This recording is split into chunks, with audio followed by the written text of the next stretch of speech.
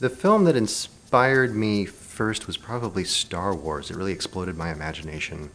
Until then, I had lived in sort of the literary worlds of like Ray Bradbury and Robert Heinlein, but they just felt like these vague theaters of the mind. And then Star Wars came along and showed me that space opera could live in a cinematic space. And, uh, and that stuck with me for a while until the same year Close Encounters of the Third Kind came out. And that really changed my mind on how storytelling works. And I made my, uh, I made my, my path forward as a writer from that. Not necessarily life changing, but two stories opened up my mind on how storytelling can work.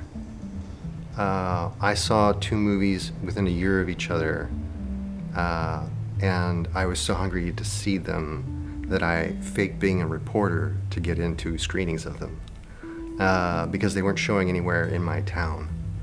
Uh, so I, I faked being a critic to see Run Lola Run and then Memento. And both of those movies play with time and showed new aspects of storytelling. And I think that nonlinear, nonlinear form of storytelling really opened things up in me. Have to tell new stories because the world keeps changing. And we need to speak to the changes.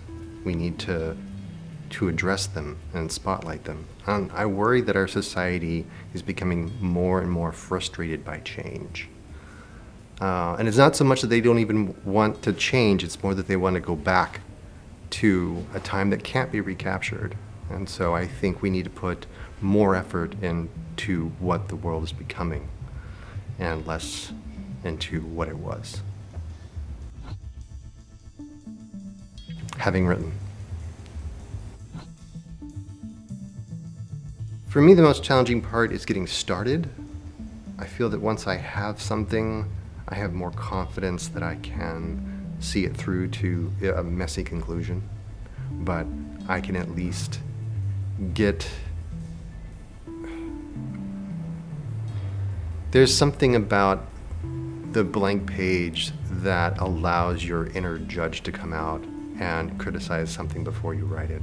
Whereas if you already have words on the page, uh, you can hit the ground running. You know, I try to be as organized as possible on that and, you know, give myself the guardrails and, you know, a process to go through. And that works some of the time, uh, but often you're trying to trick your own brain into doing something that it's pretty smart about. Like it's very aware of what you're trying to do. so uh, sometimes I have to fight the paper tiger another way. I get inspired by things that I'm very passionate about, I fall in love with, or issues that I get very angry about. It's one of those two emotions. Uh, and so uh, that can happen by reading the news, or reading a novel, or listening to music. Um, it can come from any source, and often it can come from a most unexpected source. Read as much as you write and write often. It's important to feed the engine, you know, feed the muse, but it's also important to develop the habit that you're going to have the rest of your career. Oftentimes I've found new screenwriters who have completed one screenplay and they look at it as a lottery ticket. You know, they feel like they've hit a finish line when really it's a business card. Right now, it would be Oshi no Ko, but What We Do in the Shadows, Succession, chocolate covered gummy bears. Donuts. Cheese and I don't agree.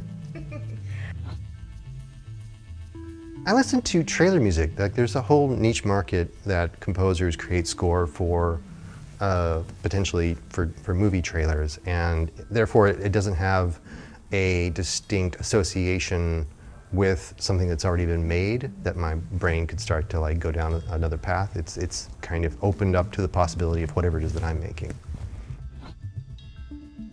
Both. I also like both dogs and cats, so I don't know. I, I'm, I'm uh, an omnivore. Uh, Jennifer Kent, The Babadook is amazing. Uh, Barry Jenkins, Moonlight, oh my God, beautiful. Uh, but then Michael Brandt and Derek Haas uh, have a script called The Courier that never got made. Phenomenal, entertaining. I laugh so hard every time I read it.